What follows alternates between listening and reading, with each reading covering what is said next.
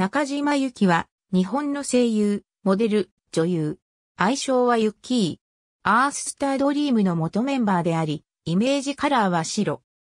和歌山県出身、東京都在住。所属事務所は B フェクト、所属レコードレーベルは NBC ユニバーサルエンターテイメントジャパン。身長159センチメートル。血液型は B 型。声優としての代表作に、てーきゅう、うさかめ、アイドルマスターシンデレラガールズ、遊戯王 VRAINS、バンドリなどがある。中学生時代まで、シュガープリンセスルームのモデル、雑誌 JS ガールの専属モデルなど、ジュニアモデルとして活躍した。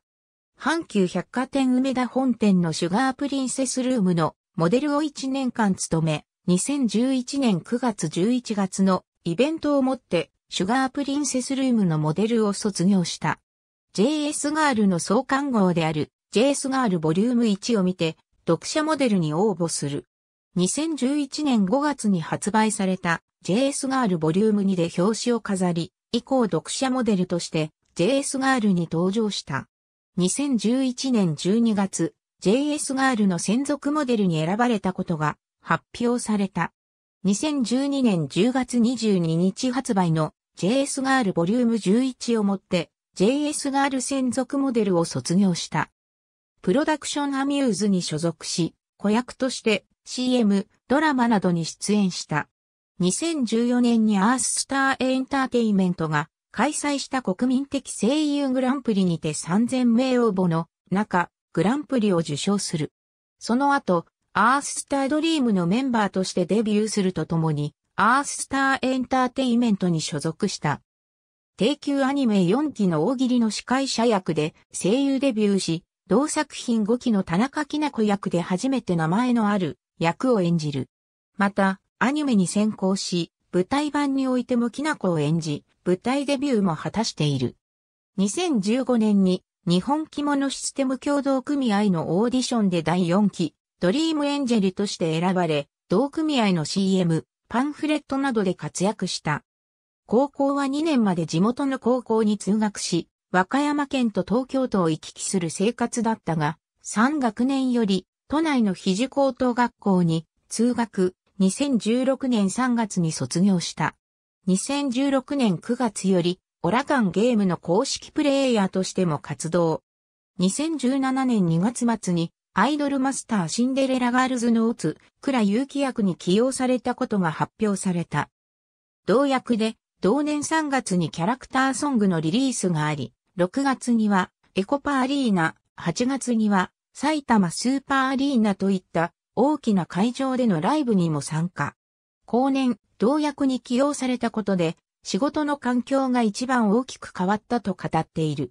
2017年10月に、12月末をもって、アーススタードリームを卒業することを発表し、アーススタードリーム自体も12月末に活動休止となった。所属していたアーススターエンターテイメントの声優、タレント事業撤退に伴い、2018年3月31日をもって事務所を退所し、翌4月1日より B フェクトに所属。2018年5月13日に開催されたバンドリフィフスライブロゼリア AB 控えとマイナスにて芸能界引退のため声優ユニットロゼリアを卒業する遠藤ゆりかの公認としてベース担当並びにバンドリシリーズの今井梨沙役を引き継いだ。2019年5月12日、桜川めぐと共同の YouTube チャンネル、ゆきめぐ TV を開設した。2019年6月10日、和歌山県ふるさと広報局員に移植された。2020年3月7日、ロゼリアで第14回声優アード歌唱賞を受賞。2020年9月14日、和歌山県ふるさと広報局長、木の国和歌山文化祭2021スペシャルインフルエンサーに移植された。2020年12月、NBC ユニバーサルエンターテイメントジャパンよりソロアーティストとしてメジャーデビュー。ボーカロイド、アニメソング、ハロープロジェクトの楽曲を聴き、歌い踊るのが趣味である。好きなアニメは、うたのプリンスさまっ、ひぐらしのなく頃になど、軽音楽部に入っていたこともあり、ベースを弾くことを特技としている。ゲームも趣味であり、好きなゲームは、スペースチャンネル5、ユビート、ドラゴンクエスト、無双シリーズ、テイルズ・オブシリーズ、COD、 BO2、どうぶつの森シリーズなど幅広い。声優を目指したきっかけは、高校入学前に友人の勧めで見た銀玉。この作品で声優という職業を初めて意識し、声の仕事だけでなく、ステージで歌ったり踊ったりするものだと知り、小さい頃から目指していた活動と似ていると感じたことから声優を目指すようになった。地元である和歌山県の PR をするとともに、和歌山県を代表するような存在になりたいと語っている。温泉娘では和歌山県にある龍神温泉をモチーフとした龍神春を演じる。かごめ野菜生活100のふるさと果実アンバサダーキャンペーンでは和歌山県の特産品である有田みかんのふるさと果実アンバサダー代表を2年連続で務めた。